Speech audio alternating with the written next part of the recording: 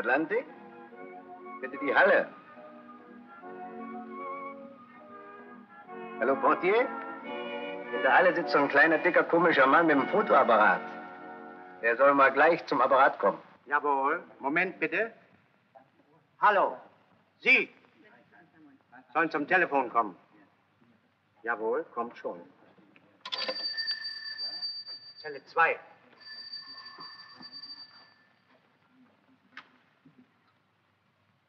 Ah, da sind Sie, Herr kleiner Rollfilm. So passen Sie mal auf. Rufen Sie mal gleich ein paar Zeitungen an, das Fremdenblatt, Nachrichten, Korrespondent, Anzeiger und Echo.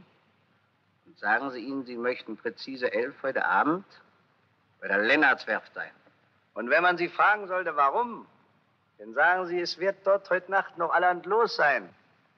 Also, Kleiner, machen Sie es recht geschickt, ne? Und wenn natürlich vor allen Dingen mein Name auf keinen Fall erwähnt. Was wird denn so Besonderes los sein in der Lennartswerft?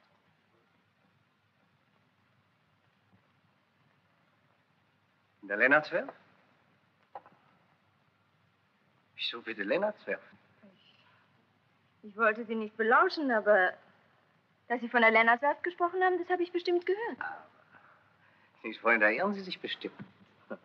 Guten Abend. Ich habe doch mit keinem Wort von der Lennartswerft gesprochen. So. Mhm. Entschuldigen Sie bitte.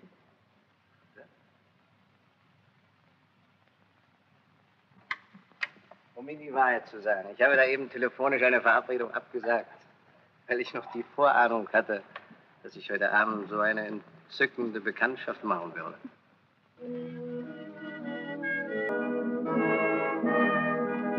Hast du meinen Wagen vorfahren bitte? Boy? Den Wagen von Fräulein Lennart.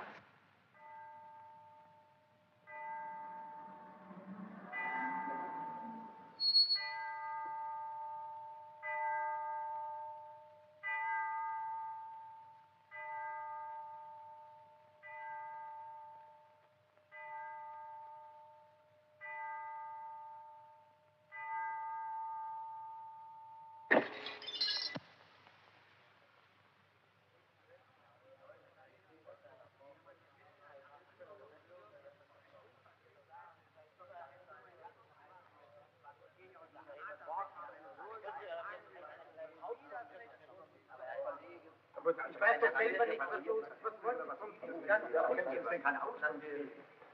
Namt. Wir sind von der Zeitung. Was ist hier los? Was soll los sein? Gar nichts ist los. Also ist bestimmt was los. Wo wir sind, ist immer was los.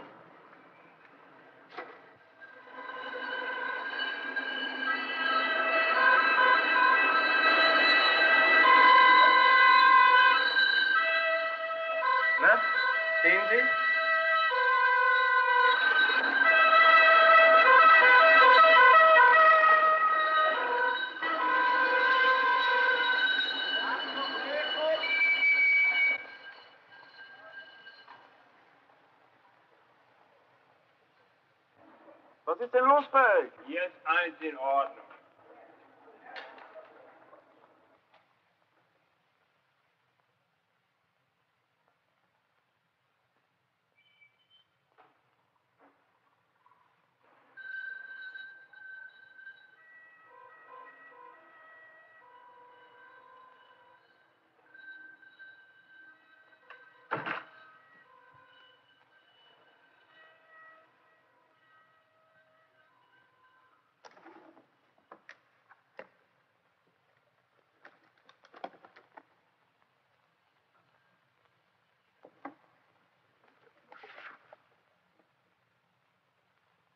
F.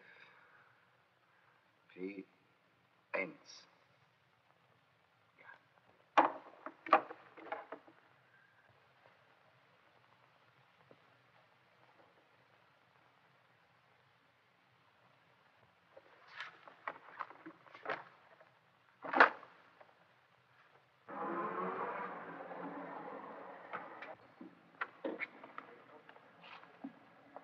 Ja, was ist denn da los?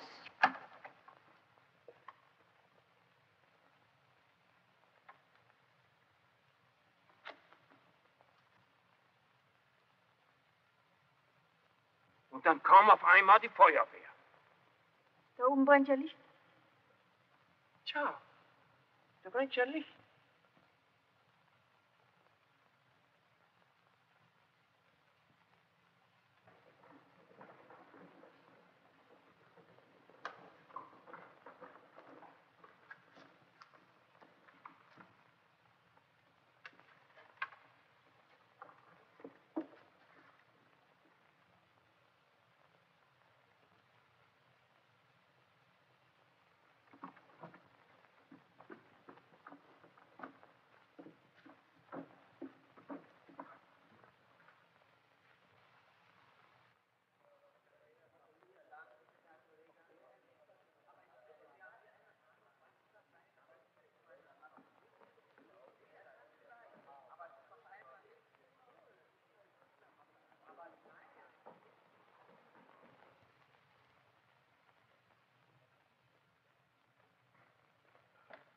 Da sind Sie ja noch, Frau Johnny. Sie, den Kerl haben Sie schon erwischt da oben. Der wehrt sich wie so ein Löwe. Jetzt können Sie auch ein schönes Gruppenbild von mir machen. Was kann ich machen? Ein Brustbild sollen Sie von mir machen, aber einen Kopf müssen Sie mit drauf haben. So. Achtung. Anscheinend hat man es nur auf den Inhalt dieser Mappe abgesehen gehabt. Ja, aber ich verstehe gar nicht, wozu Sie... Wozu ich die Pläne der FP1 gestohlen habe, wollen Sie wohl fragen, wenn ich sie eigentlich gar nicht gestohlen habe. Ja, das ist so eine eigenartige Geschichte, die müsste ich Ihnen eigentlich ausführlich erzählen. Sehen Sie mal, der Droste und ich, wir kennen uns schon nach Gott weiß wie lange.